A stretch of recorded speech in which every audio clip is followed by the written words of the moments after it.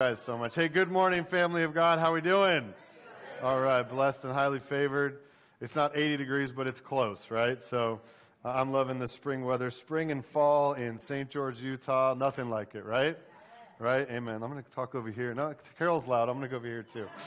Um, real quickly, a couple of uh, announcements. I just wanted to uh, piggyback off, off of those, those, announcements. Rooted, it, like he said, closes at 3 p.m. because we're getting together, put, putting groups together, placing everything, um, getting it in place for tomorrow, which is that meeting here uh, which is the first week of the 10 week journey with Rooted. So if you're looking to get connected in community, I encourage you to sign up uh, before 3 p.m. because that's when we're going to kind of um, get everything together. Alan and Kristen, our uh, community group directors, are going to put all of the groups together along with us and get that moving. So if you're looking to get connected in a group, Rooted is that pathway.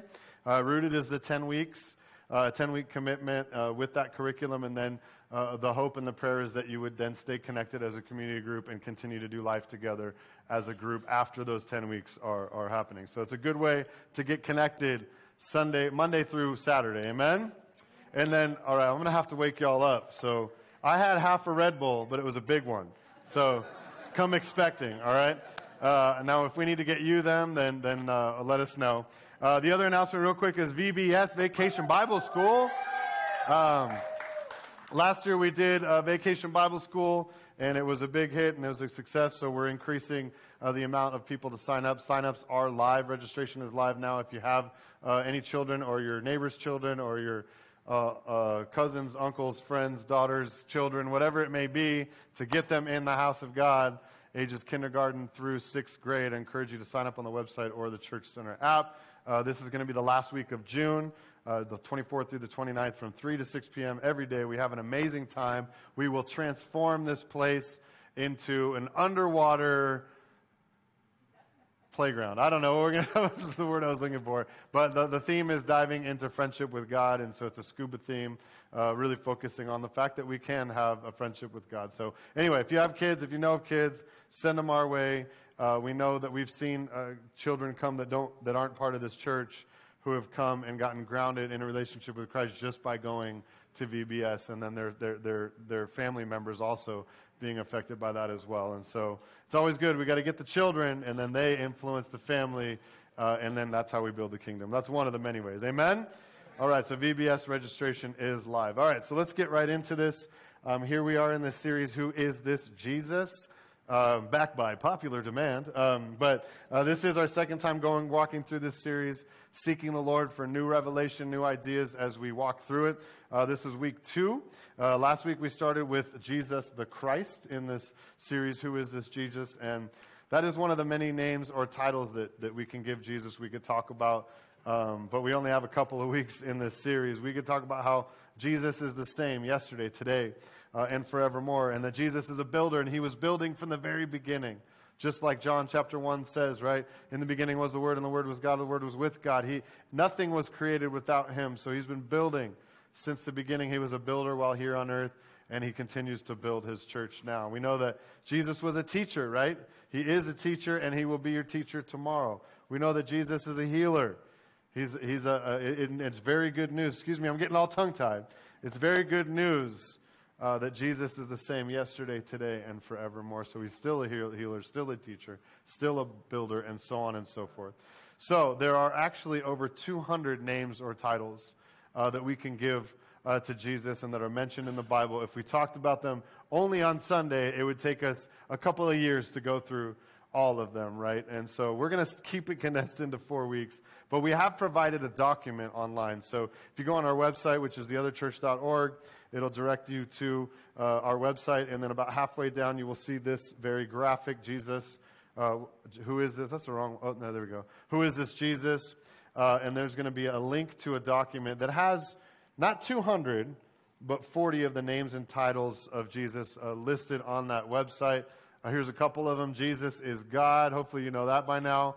Uh, number two, Jesus is the Christ. Jesus is the prophet. Jesus is the anointed one. He is the teacher. And you will see that document with um, scriptural references all on there um, available to you. So, your homework is to memorize all 40 of those and come ready present those next week at church, right? You're a little nervous laughter in there. That's okay. No. But no, I encourage you to, to, our heart is always that you would be hungry as you leave these doors to know more about the Lord, and that's a great way to do it. So, again, check the website, click on the link. You'll have 40 of them um, to kind of help you dig into who is this Jesus. Amen? All right, so I have this stool. You know, I never have a stool. So I might have to lean and sit on the stool a little bit today um, because my son was in a basketball tournament in Vegas Friday, Saturday, and he played a lot of games I didn't play any games, but I'm the one that got hurt. So um, when you're rooting for your kids on the sidelines, it's dangerous. Rolled the ankle pretty good. Uh, so far, I'm okay, but thank you guys for putting the stool here, so I might sit down.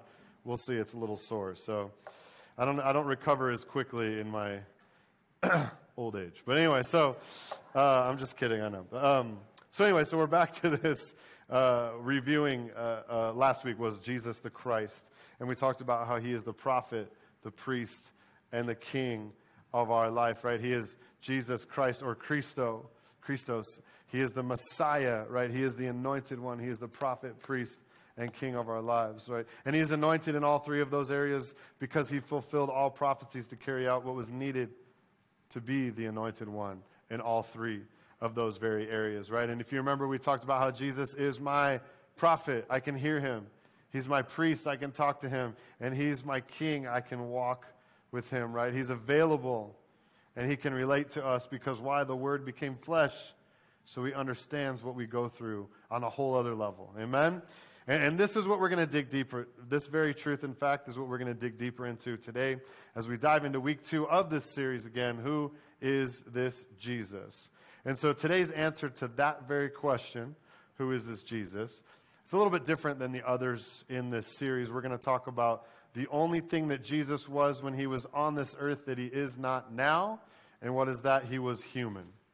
Jesus, the human, is the title for today's message. And we know that Jesus is not human now, but he was human for 33 years on this earth. And it's very important that we understand that he was human and what it means to say. You often hear in the church, in the church, or if you're studying scripture, he's fully God, fully man, right? So it's important to understand what that means that he was fully man, that he was actually a human, right? And, it, and there, it's a spiritual doctrine actually called identification, that he became human. And, and as the world has a habit of doing, the world has borrowed from this very spiritual, uh, um, the spiritual doctrine called identification and used it in uh, other areas and borrowed it. And uh, a great example would be in the political arena, in the political world, in politics. It's an election year. We love talking about politics, right? Let's talk politics. Somebody's like, oh, great, here we go. You know, I got to tell you, I drank a Red Bull, so I'm going to be excited. You don't have to be but I am. So that's okay. You know, I know I'm drinking tea now, but it's not chamomile. I'm going to continue with high energy. You can join me or not. So I'm going to have fun by myself. Love you. Thank you. All right, here we go. So the world borrows all the time from biblical principles. And so, how does the world borrow with political in, uh, in the political arena and in politics? Well, it would be kind of, kind of like this: a politician puts on a sharp suit, goes to Wall Street, starts talking to the stockbrokers, the traders, the people in finance, and says, You know what? My father was in finance, and so I feel your pain. I understand. I identify with you.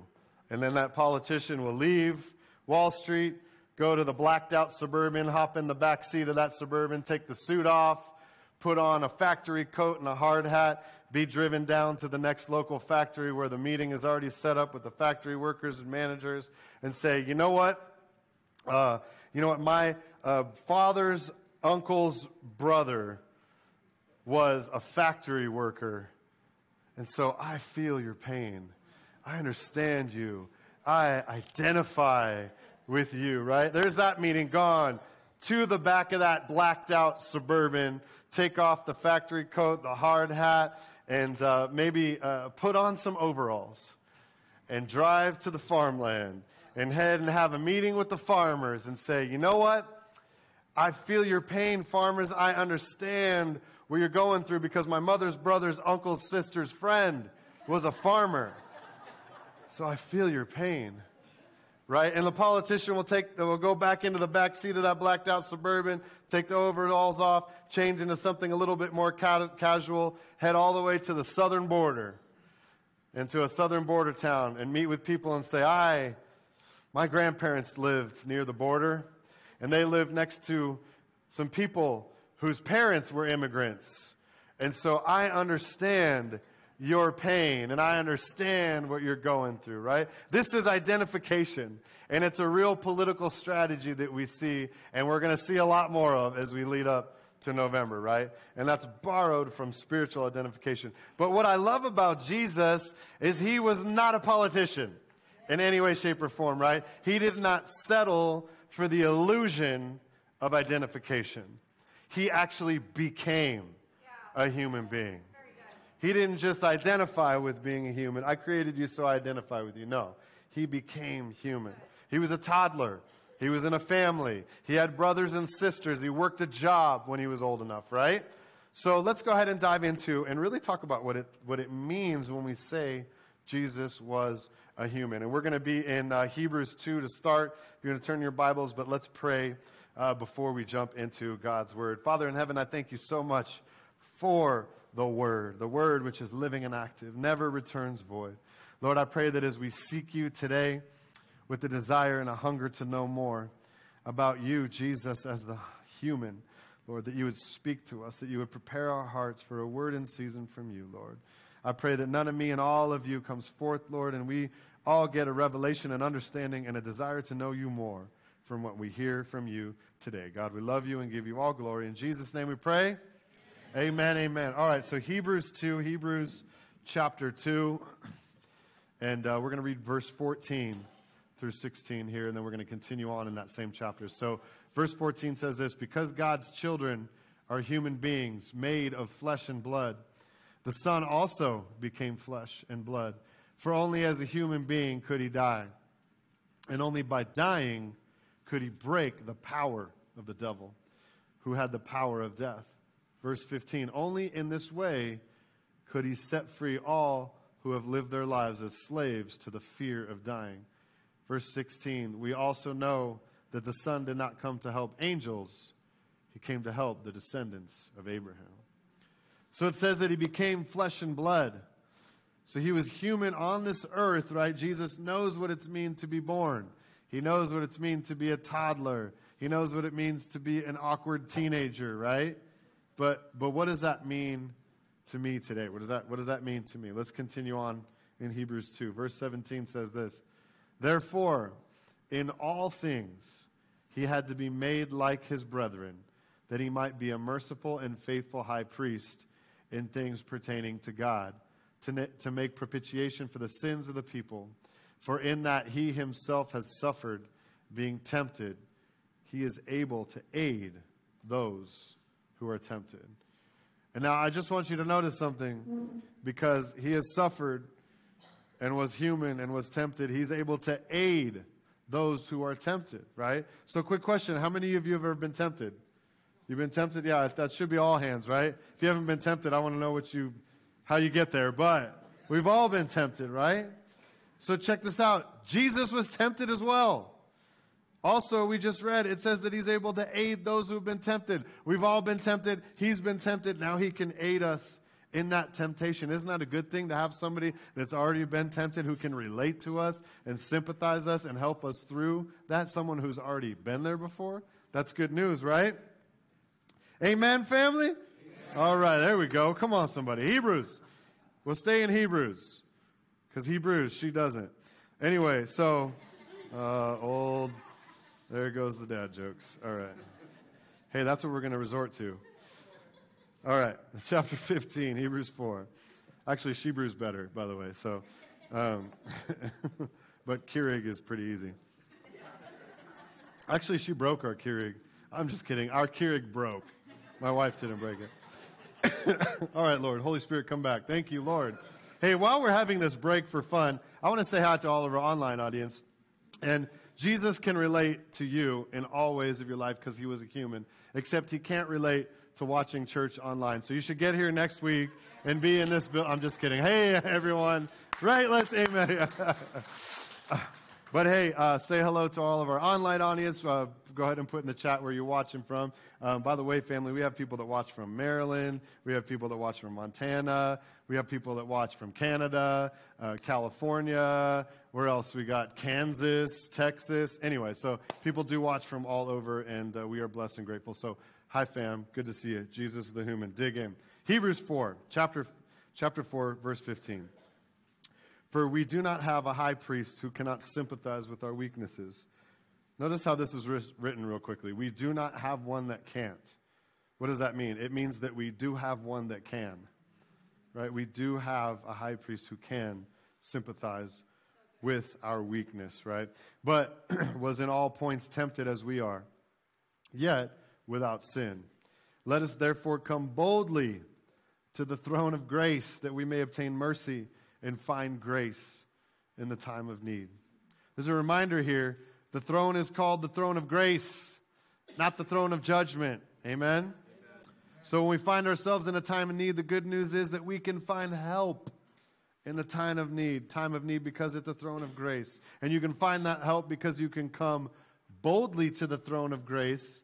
You're not coming to a throne of rules and regulations but to a throne of grace. And you can come boldly to that throne. Why? Because Jesus is a merciful and sympathetic high priest. And that's good news. Amen? Amen. Sympathetic meaning that he understands what we're going through because he was a human. And this is important for us to grasp. And I think that we oftentimes glaze over this, right? Jesus was a human. We glaze over the fact that he can sympathize with us.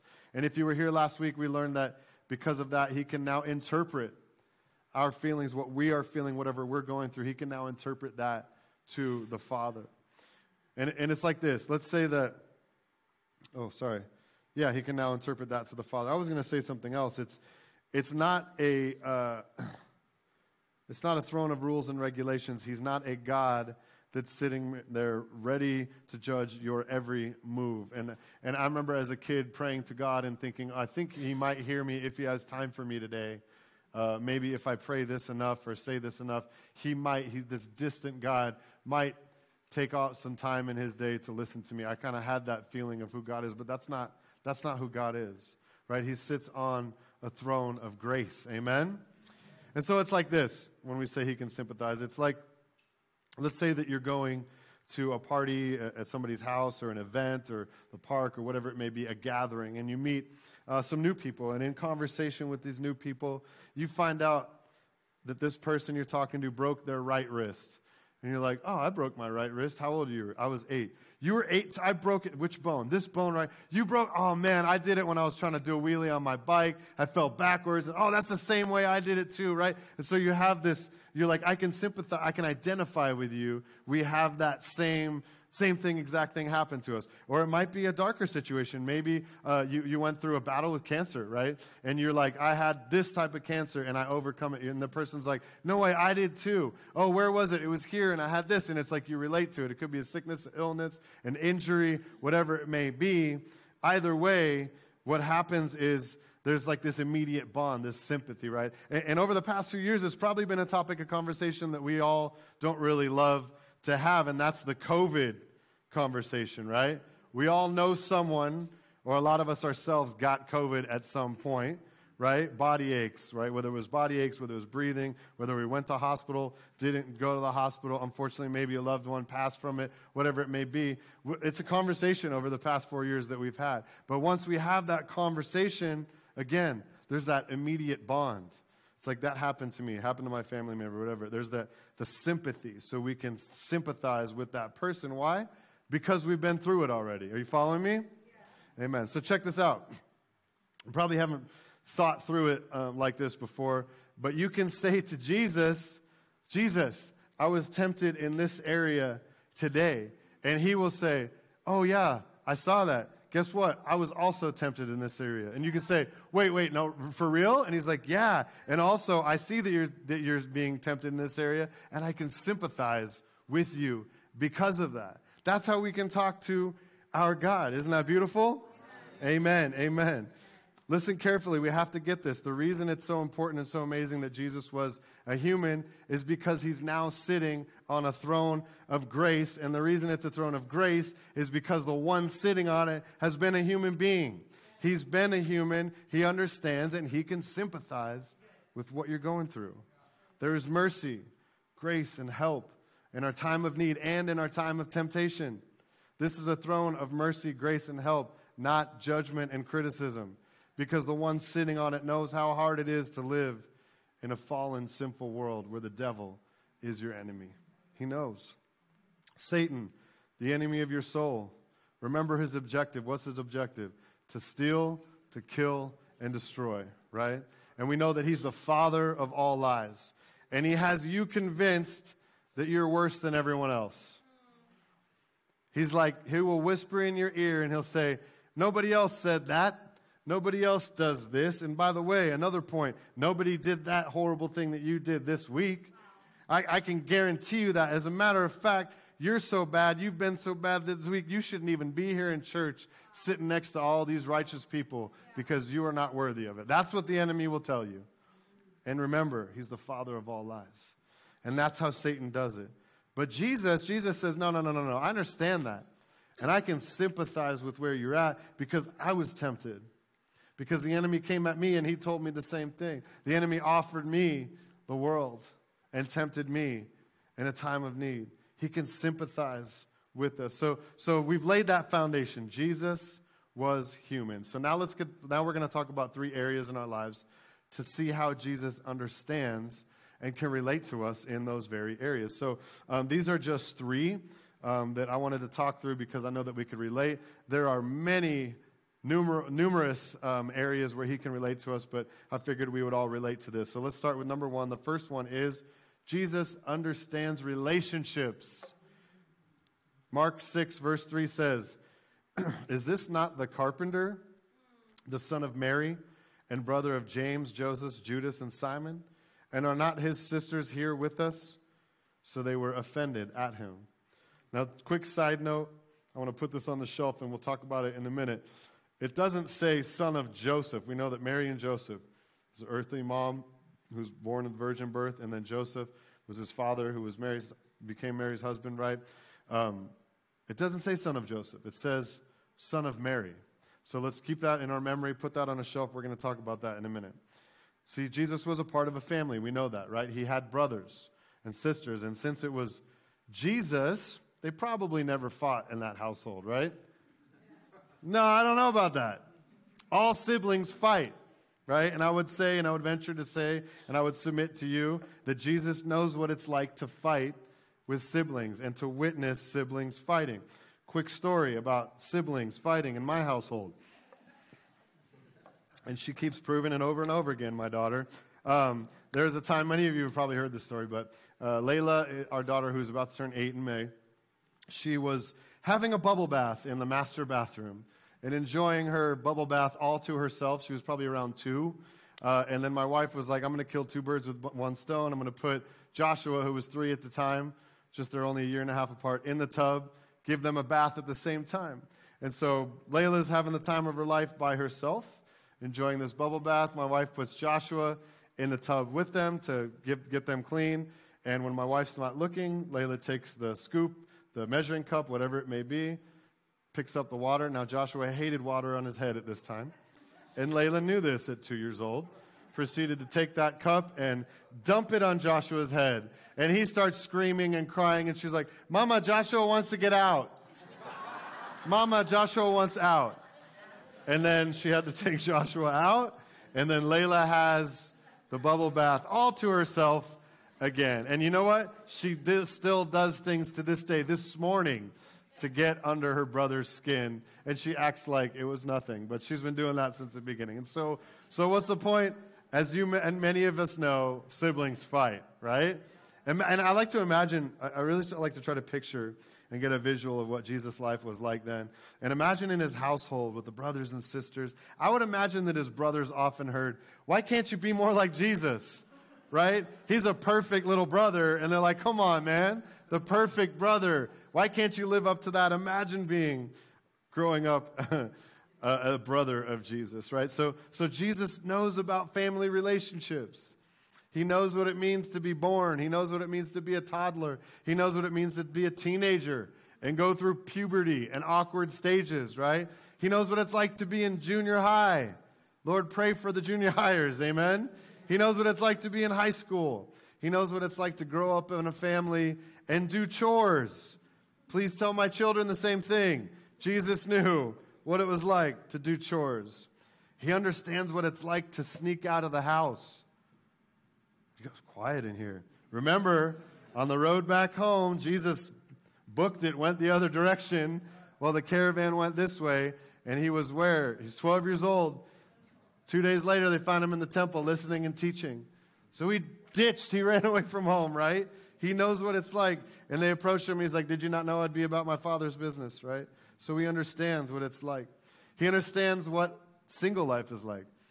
Yes, Jesus lived that single life, family. And someone might say, Well, I know an area Jesus doesn't know what it's like to be married may be true in an earthly manner, but he understands married life. He's a groom, and the church is a bride. How many times do we read in Scripture where it talks about the church? Us, the body of Christ, we are the bride of Christ. Amen. He also understands what it's like for his bride to be unfaithful. Jesus understands what that's like. And you might say, well, I know he doesn't know what it's like to have children. We are the family of God. We are children of God. Amen. And guess what? He also knows what it's like to have disobedient children. He knows what it's like. He can sympathize. He knows what it's like to have problems with your family, right? He had a little bit of family trouble. Most of his family didn't even believe him until after the resurrection.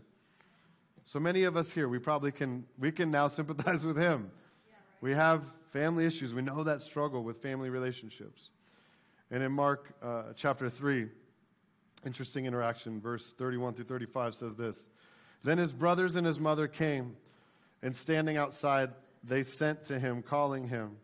And a multitude was sitting around him. And they said to him, Look, your mother and your brothers are outside seeking you. But he answered them, saying, Who is my mother and my brothers? And he looked around in a circle at those who sat about him, and he said, Here are my mother and my brothers. For whoever does the will of God is my brother and my sister and my mother. So Jesus is teaching a multitude, and his mother and brothers sent for him, right? And the people tell him, Hey, Jesus, by the way, your mom and your brothers are outside looking for you. And he's like, Oh, them? They're not my brothers. That's not my mother. That's not my family. You all here are family. Those who are doing the will of God are the family. And maybe some of us can relate. Family issues, issues with parents, parents calling for you and you don't want anything to do with them, right? Maybe your parents always show up unannounced to a function that you're at, and you know there's no way that they're not going to embarrass you by the end of that function and tell a story about you pouring water on your brother's head in the bubble bath or whatever it may be to embarrass you. Or maybe you have a brother who ruins holidays like Kevin McCallister in Home Alone. Or, or perhaps you have a cousin like Randy Quaid's character in National Lampoon's who's ruining holidays, right? Whatever it may be, we can, we can relate, right? We know that family issues happen and Jesus can relate and sympathize too. And that's why I always call all the people that God has brought together here at Elevate Church family. Y'all are perfect. We don't have any issues relate, with relationships in the church. We're family, right? No, it's the reality. But guess what? Jesus can sympathize. So the question may be why didn't Jesus go greet his family? Why didn't he go out and greet him? So if you quickly jumped up to verse 21, it says this. It's interesting what transpired before those actions. Uh, verse 21 says, And when his family heard it, they went out to seize him, for they were saying, He's out of his mind. So his family is saying he's out of his mind. So he caught word of that. He's like, they're not my family, right? They were like, Jesus is crazy. Maybe they were wishing he just stuck with carpentry or something. They're like, I don't know what he's talking all this Son of God stuff because he was a great carpenter. I don't know what they were saying. Uh, and I know this is a yes for me, but your fa- has your family ever thought that you were crazy? Yes. Yes. My family has thought that I was crazy. Yes, absolutely. Right? Maybe you can relate, that's for sure. And you know what is really cool about that? Is you can tell him, Lord, Jesus, they think I'm crazy. And he'd be like, I, I know, I feel you. I understand. I sympathize with that. There's an awesome, fun, and intimate relationship that is available to us to have with the Son of God, all because he was a human. Amen? He knows what it's like to have friends, right? Think about the story of Martha, Mary, and, Matt, and Lazarus. We talked about this on Easter, and, and how Martha and Mary were super upset when Lazarus died because Jesus didn't come quick enough. And I like to think, kind of looking at that, we can only imagine how they approached him, but they said, Lord, if you had only been here. And sometimes you think, oh, maybe they were sad if you had only been here. Maybe they were angry. I like to think they had attitude and like, like, Lord, come on, man. I know you could have could have healed him if you had only been here when I called on you, when I prayed to you, right? If you had only been here. So he understands to have friends like that, to have demands upon him. He knows what it's like to have friends. Jesus also understands what it's like to have your friends bail on you when you need them the most. He understands what it's like to be betrayed by a very close friend. He knows what it's like to have people not like him. I mean, it's hard to believe that a guy who was perfect could have people that didn't like him, right? I mean, maybe some of you perfect people could relate to this. I mean, me, I mean, I'm almost perfect, and believe it or not, there are people that don't like me. Can you believe that? There are. Yeah, I know, it's wild. So when you're when you're going to talk, so my question to you, family of God, is when are you going to talk to him about your family problems? When are you going to talk to him about your relationship problems? When are you going to talk to him about being by, betrayed by friends? Yeah. I feel like sometimes in certain areas we like to compartmentalize and keep things away from him as if he's a distant God who doesn't hear us and won't understand. But guess what? It's quite the opposite. He can sympathize, so we have to talk to him about it. There is nothing that is happening in your life that you can't talk to him about. Amen? He's a merciful and sympathetic anointed priest, and there is no area of your life that he has not already experienced. So I encourage you, family, talk to him. Jesus understands relationships. Number two, Jesus understands work. That's right, we chose work. Why? Because a lot of us think that God doesn't understand my business, my job issues, my work issues. He doesn't understand that. Well, guess what? He was a carpenter. Now, my first job, I wouldn't call it work, uh, but I was employed at a movie theater at 15 and a half as soon as I could because I wanted a car. But anyway, so um, started working in a movie theater, and that was more like avoiding work and getting free popcorn, free hot dogs, eating as many Snickers bars as I could, and watching free movies. I mean, that was it. But then, once many jobs after, I understood what real work meant and what work really meant. And then, guess, guess what? Jesus could understand. He was a carpenter, he was in the marketplace longer than he was in ministry right? He probably started around 12 years old, which was common back then. So if you think about it, he lived on this earth 33 years. So that's 30 years that he was, I'm sorry, 12 to 30 is 18, 18 years that he was in the marketplace and only three years in ministry. So he worked as a carpenter. And again, I'm, I'm visual. You ever think about what it looked like, Jesus working as a carpenter? And all the visuals we get because of paintings and pictures and, and whatnot, you know, we dispute on skin color, long beard, short beard, what color hair, whatever. But it's always in a holy robe and sandals, right? That's how we always picture Jesus. But I'm like, no, he was a carpenter. He probably had a tool belt, maybe around the robe. I don't know. He had a tool belt. He had tools, right? He worked. He didn't have like power tools or anything at that time. But he had tools, so he, he built things, right? And I bet, I would bet that Jesus was pretty ripped. I mean, I'm just thinking, I mean, he had a physical job. He was probably in good shape. I'm sorry, I just think visually, I'm thinking, hey, he probably had calluses on his hands, right? And, and, and, again, he didn't have power tools. But speaking of power tools, have you ever tried to assemble furniture without a power drill? You ever tried that? Like you get your furniture in the mail, mail whether it's uh, whether it came uh, whenever it came because it came all the way from overseas and who knows when it'll arrive, uh, or it came from IKEA. But it's you open up the box and you lay everything out and you're like, okay, I got to put this thing together. I don't have my power tools, but they gave me this this Allen wrench, and the instructions, which are upside down and backwards, are telling me to assemble this this furniture with an Allen wrench, right? and you're like, how am I going to put this together? Have you ever tried to do that? It's so much easier with power tools. And you're looking at this thing like, I got to put this together with this? Like, are you kidding me? And guess what? Jesus put the whole thing together. He built the whole entire thing without power tools, probably more than an Allen wrench, right? And he probably had, and guess what? Jesus, when he put things together, it wasn't labeled A, B, C, D, and color coded, right? No, he put it together, right?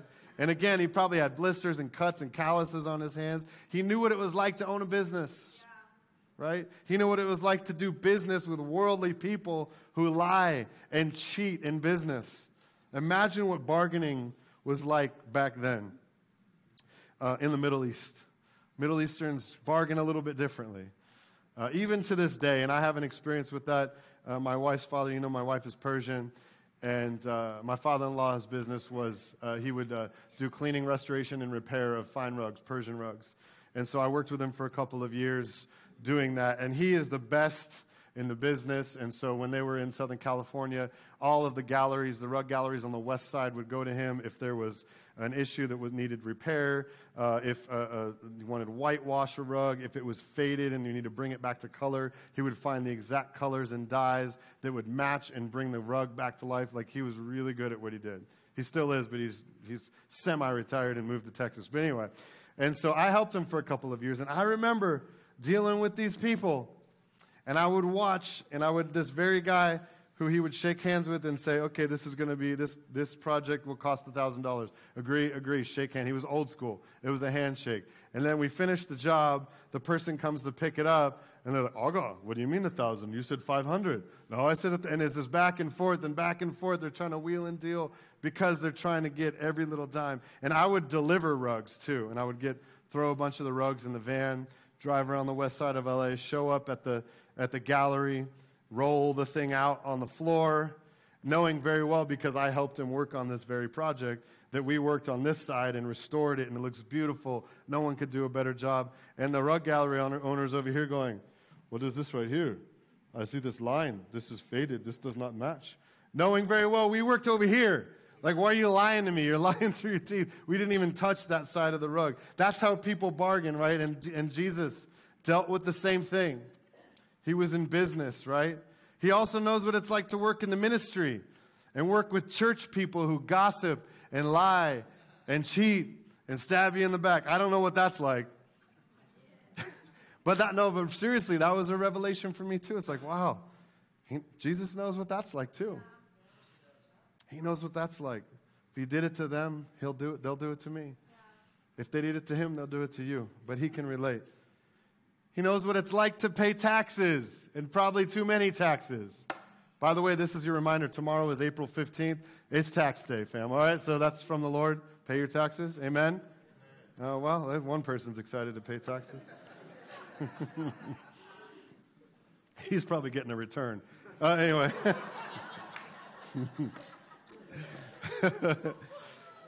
so, there, so there's nothing about work that you can't talk to him about. Jesus understands work.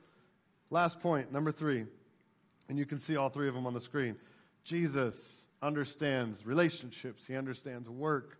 Jesus understands pain. He understands pain.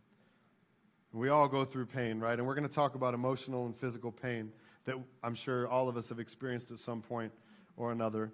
Uh, and there's a beautiful prophecy in Isaiah 53. Many of you know it chapter uh, 53, verses 3 to 5, says this He is despised and rejected by men, a man of sorrows and acquainted with grief. And we hid, as it were, our faces from him. He was despised, and we did not esteem him.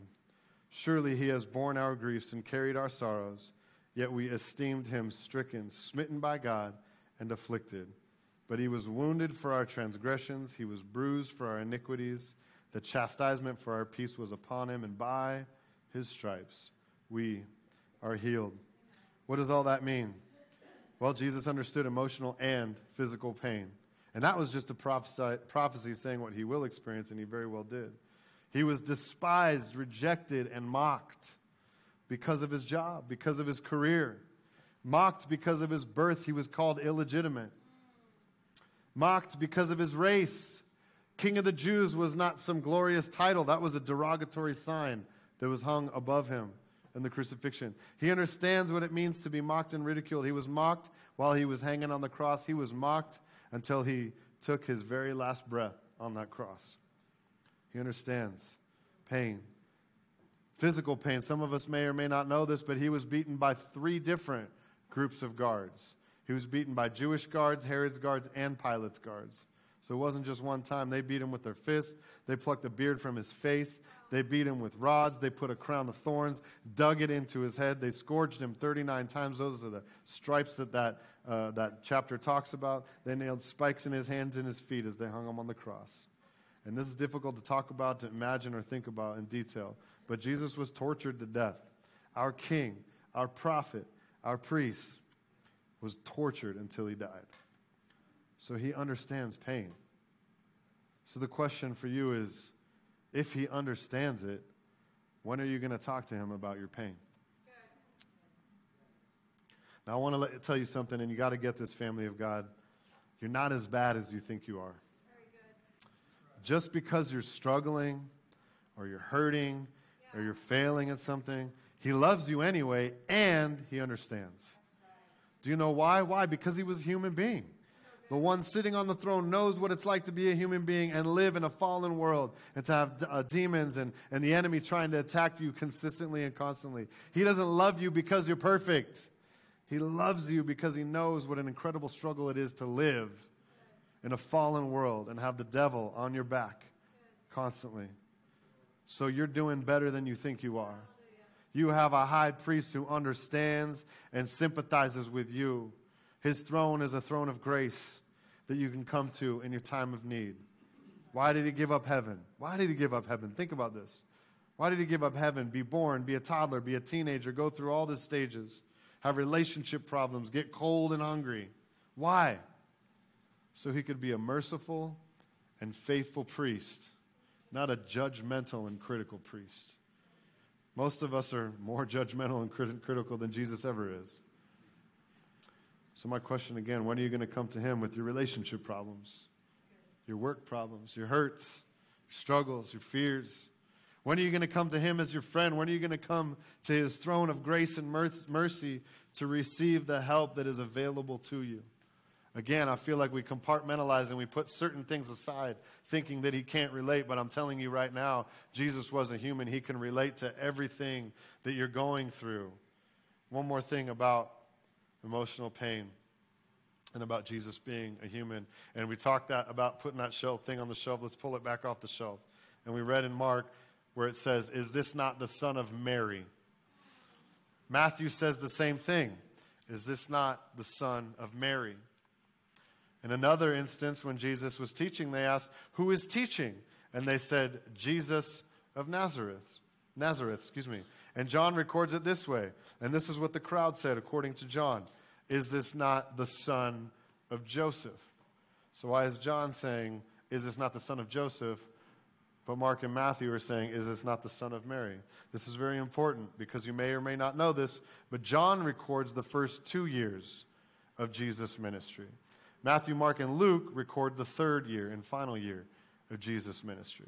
John wrote the Gospel of John years later. This was after all of disciples besides him were, were martyred, right? And he writes it years later because he read Matthew, Mark, and Luke's version, and they were good, but they had only recorded the last year of Jesus' ministry. So that's why in the book of John you have things that you will not find in Matthew, Mark, and Luke, right? Matthew, Mark, and Luke are called the synoptic gospels. This means similar. So Matthew, Mark, Luke, Luke, excuse me, are synoptic gospels. In John, you'll find things that you will not find in Matthew, Mark, and Luke. For example, John 2, you have the turning water into wine. Yeah. John 3, the conversation with Nicodemus. John 4, you have the woman at the well. John 5, the man at the pool of Bethesda. John 9, the blind man. We also have in John 11, Lazarus. This is all the first two years of his ministry. And all these things have more detail because John records the first two years. Again, Matthew, Mark, and Luke, only the third year. So watch this. Matthew and Mark say what? Isn't this the son of Mary? They're recording the third year of his ministry. So they say, Is this not the son of Mary? All of them start with the birth, and all of them, meaning the Gospels, finish with and end with the crucifixion. But as far as his ministry goes, John recorded the first two. Again, Matthew, Mark, and Luke recorded the last year. So, this is important. Let's get this. John's recording the first two years, and he writes, Isn't this the son of Joseph? When Jesus is on the cross, John wrote something a little bit differently that is not in Matthew, Mark, and Luke. And he describes it like this Jesus is on the cross, and he's looking down at Mary, his mother, and John, the disciple. And he says to Mary, he says, Behold your son. And he says to John, Behold your mother. Now, in that time, the oldest, firstborn, would take care of the mother if, if it was needed. And Jesus was the firstborn son. And the Bible says, from that day on, Mary went home to live with John. She wouldn't have gone home to live with John if Joseph had still been alive. So, John, Jesus imparted on John, you are now to take care of Mary. What does that mean? Well, historical, historical documents of that time record that Joseph died in Jesus' final year of his ministry. When I say he understands everything, have you ever lost a loved one? Jesus understands. And think about it like this, too. This is amazing because this was during his ministry. Jesus was already in the business of raising people from the dead. And his father, his earthly father, Joseph, passed away. He could have raised his father from the dead, but he didn't. So maybe, it doesn't tell us, but maybe, just maybe, Jesus didn't raise his father from the dead because he wanted to experience the death of a loved one so he could be a sympathetic high priest for his children, for his sons and daughters. That's how good of a God we serve. An intentional God. For 33 years, he was a human being so he could be a merciful and faithful priest that we could go to in our time of need and receive grace and help. Now, in a minute, we're going to pray. But before we do, I want us to reflect for a moment. I'm sure that many of us have maybe gotten visions or ideas, or the Lord put things in our heart or mind as you're listening to this. And this may, this may all be new information for you. Uh, it might be a reminder to you, uh, or you may have studied it yesterday. Either way, I want you to allow God to speak to you right now. Let the Holy Spirit minister. Remember, we can hear Him, we can talk to Him, and we can walk with Him because He is the anointed one in all three areas. And for me, while going through this and digging into this, I was more grateful to the Lord than I ever have been. I really, really took a step back and looked at how Jesus really did make it a point to walk through everything. Think about this 30 years of walking this earth before he even started to do ministry so that he could relate and sympathize with you and me. What a good God we have. Let's go ahead and close your eyes and bow your heads.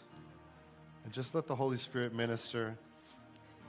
This is a time when our Lord is reminding us, his sons and daughters, that he was human and he can sympathize with everything we go through, with all that we go through.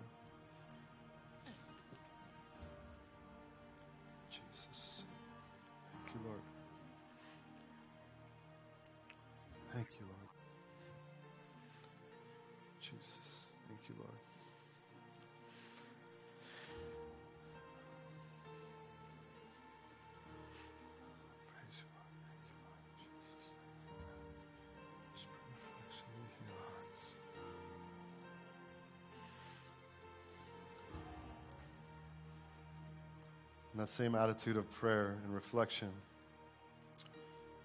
Many of us here have had a point in our life where maybe we can remember as clear as day when we surrendered all, repented, turned away from our life, and said, I want you, Lord. In order to have a throne of grace to approach boldly, we have to have a relationship with Him. We have to believe in Him fully with all of our heart And the Bible says that when we do confess with our mouth and believe in our heart that He is Lord, that we become children of God. And that is the time when we can have that high priest to approach who has been through it all and can sympathize with us. What a good God we have. And so if you don't have a personal relationship with Jesus Christ, I want to invite you to invite Him into your life. So if that's you, you've never said a quick prayer, you've never turned away from your life, you never turned fully toward the Lord Jesus. We're going to say a prayer in a moment as a reminder to us, but I encourage you to step into this moment, accept this invitation. So if that's you, you're saying, I want a relationship with Jesus, really quickly, if you could just slip your hand up in the air and say, Yeah, that's me. I want a relationship with Jesus. That's right. And I feel my heart beating now. I'm just going to raise my hand. That's me. See those hands. Amen. Amen. It's beautiful. Go ahead and put your hands down.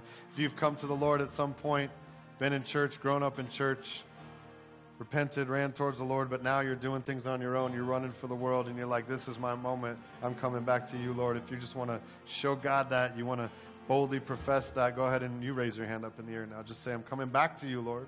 Been away for a while, I'm coming back to you, Lord. Coming back to you with everything I have. Amen. Beautiful. See those hands. Go ahead and put your hands down. Church, let's say this. Let it be a reminder. Let this be a marker. We're drawing a line in the sand. This is a reminder of how good our King is. So say this with me, church. You repeat after me. Say, Jesus, come into my life. Be my Lord and be my Savior. I believe in my heart and I confess with my mouth that you died for me, that you rose from the dead, and that you are seated at the right hand of the Father, interceding for me. Thank you, Lord, for not giving up on me. Thank you for loving me. I give you my life. I turn it all over to you. Lead me, Lord. In Jesus' name I pray. Amen, amen, amen. Go ahead and give the Lord a hand clap of praise. Beautiful, thank you.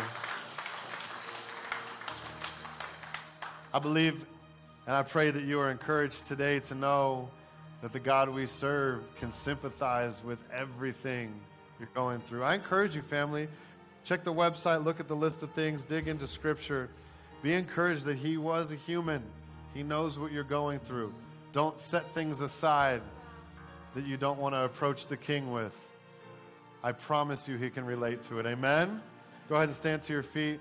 And we're going to finish with one that worship song, One Look which says, Oh, how beautiful, oh, how glorious. Just one look at Jesus, and my face is in the ground. And I want you to sing this, proclaim this, praise this. The Bible says that the Lord, that God in, inhabits the praises of his people. So if you want him, in, him inhabiting your praises, praise his name. Not because you feel good today, but because he deserves it, because he is worthy, because he's a God who spent 33 years on this earth so that he could sympathize with every little thing that we go through. What a good God we serve. Amen.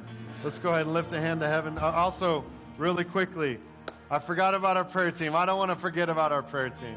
We have an amazing prayer team. If you lifted your hand uh, when we said that prayer, please see our prayer team. We have three here, three there.